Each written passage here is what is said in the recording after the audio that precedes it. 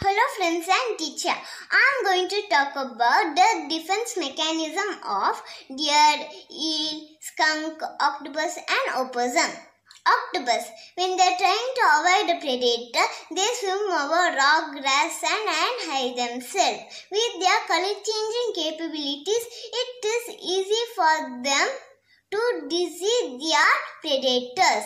They do this immediately after ejecting black king into the water. Skunk. To protect itself from the predator, skunk will display aggressive behavior like holding its tail erect and standing on its front paws. Skunk uses prey as defense mechanism.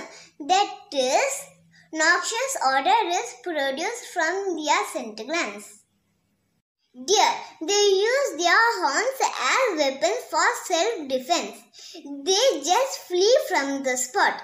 They run zigzag to confuse and get away from the predator.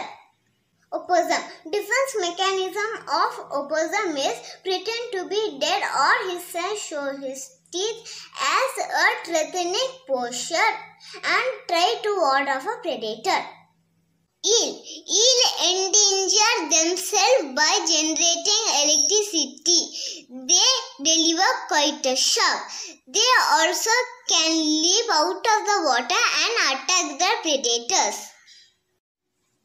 I hope it was interesting and amazing to know the self-defense mechanisms of these animals. Thank you.